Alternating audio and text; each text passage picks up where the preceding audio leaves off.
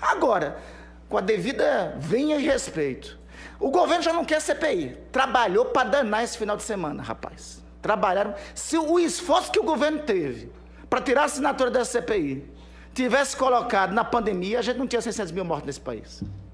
O esforço que o governo teve para retirar a assinatura da CPI tivesse se dedicado à economia, não tinha jeito na fila do osso no Brasil. O esforço que o governo teve, tivesse dedicado à economia, não tinha caristia de alimentos nos supermercados. Tá, o governo não quer CPI. Agora tem a nova. Não quer que as pessoas citadas venham à comissão. Querem que bote no papel para explicar. Minha avó já dizia, é, presidente, papel tudo aceita. Até a mentira. Papel tudo aceita, até a mentira.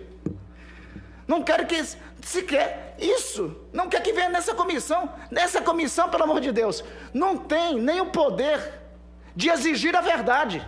Só uma comissão, senador Confúcio, de inquérito pode ter esse poder de fazer. Nem o poder, conforme o Código de Processo Penal, de exigir a verdade, tem. E não quer que venha a comissão de educação. Rapaz, tem muita coisa aí escondida que precisa de esclarecimento. Mas muita coisa mesmo que nós estamos, e eu apelo aos colegas senadores, que nós estamos votando aqui é convidar, e é convidar, é convidar, funcionário público, haver uma comissão do Congresso Nacional da explicação, é convidar, não é nem convocar, porque essa comissão não pode.